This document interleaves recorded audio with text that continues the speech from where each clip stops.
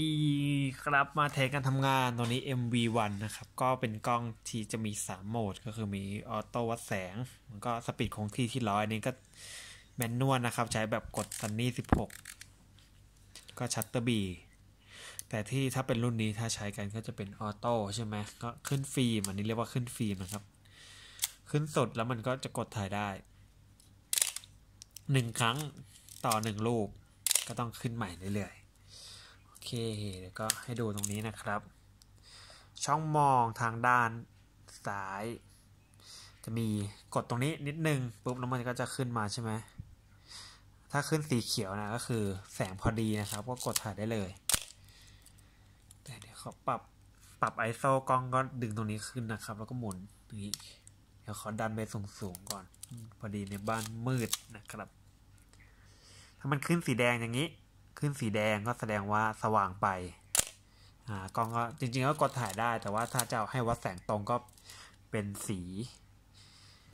เป็นสีนะสีส้มใช่ไหมเราก็ปรับลดแสงให้มันต่ำลงหน่อยอ่าอันนี้ก็ได้ละแล้วก็มีอีกสีหนึ่งก็คือนี่สีส้มอย่างนี้ก็แสดงว่า under นะครับนึกว่ามืดไปนั่นเอง โอเค จริง ๆ ก็แค่ตัวนี้ก็แค่ให้ ปรับมันเป็นสีเขียวกดถ่ายแค่นั้นเองอ๋อโฟกัสด้วย ปรับ ISO ตรงนี้ใช่ไหมกล้องส่วนมากก็จะมีร้อยสองร้อยสี่ร้อยประมาณนี้นะครับชัตเตอร์ B ก็คือเลื่อนตรงนี้ปุ๊บชัตเตอร์ B เนี่ยก็คือต้องกดถ่ายค้างนี่อาจจะค้างอยู่อย่างนี้ พอปล่อยนิ้วปุ๊บมันก็จะปิดรับแสงเข้ายาวๆก็คือไว้ถ่ายพวกไฟถ่ายรถเป็นเส้นยาวๆอะไรประมาณนั้น จริงๆต้องใช้คู่ขาตั้งกล้องแล้วก็สายลั่นชัตเตอร์นะครับ ไม่นั้นถือถ่ายธรรมดา เบลอแน่นอน ถอดเลนส์ก็แค่กดตรงนี้ลง แล้วก็หมุนทวนเข็ม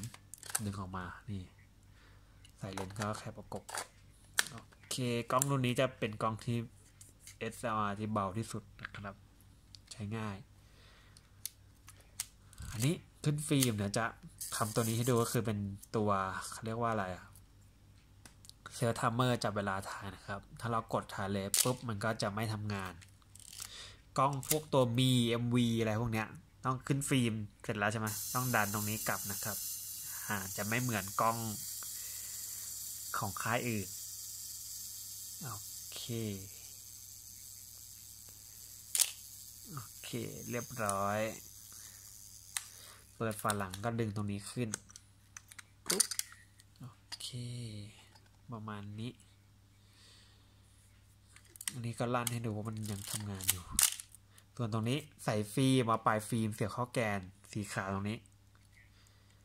เสียบเข้าแกนให้มันแน่นแล้ว แล้วขึ้นขึ้นฟิล์มแล้วกดถ่ายทิ้งไปสักรูปสองรูปให้มันแน่นนะครับ แล้วก็ปิดฝาหลัง แล้วก็เริ่มถ่ายได้เลย โอเค เรียบร้อยดีขอบคุณมากครับ